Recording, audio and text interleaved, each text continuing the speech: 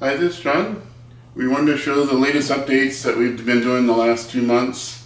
Um, basically for Christmas we got a um, roundhouse with it, additional stalls on it and we'll go ahead and show you that and also the turntable we put in with all the tracks. So we have 17 tracks hooked up to the turntable and this is pretty much the majority of um, our locomotives. We have a couple more that need to replace decoders in them. But we have all the steam engines except our Christmas one inside the roundhouse. And we just have, I think there's three more diesels that we'll have that we need to fix up. Um, some other things that are new is I bought this um, flat car recently. And also for Christmas I was given a this passenger car, Santa Fe passenger car. And we'll go ahead and show you the turntable moving.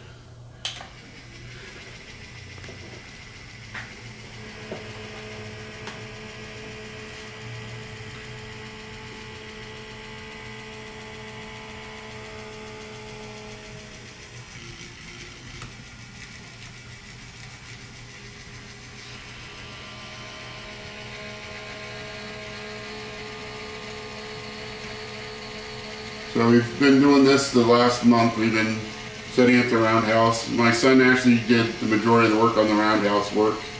And then I did the wiring on the, the, the tracks of the turntable. We're going to have groups of tracks that we have on-off switches so we can leave them, all the engines off eh, if we want. Right now they're all powered together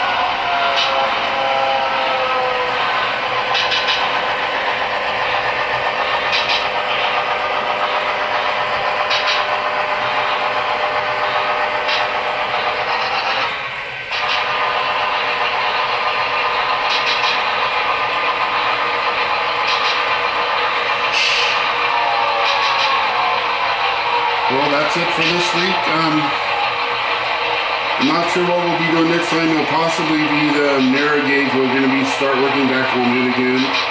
Um, but we'll see you next time.